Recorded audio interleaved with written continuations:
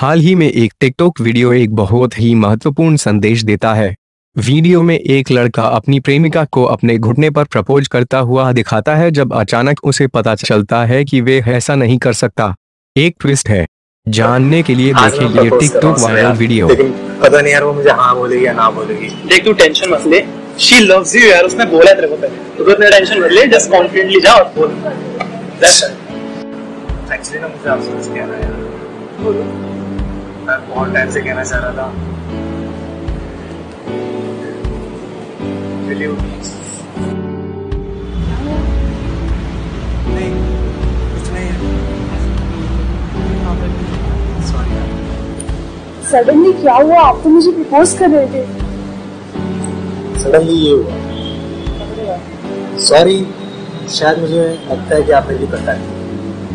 कि जो अपने देश से प्यार नहीं कर सकता हूँ मुझसे क्या प्यार सॉरी मैंने आपको जल्दी कॉल किया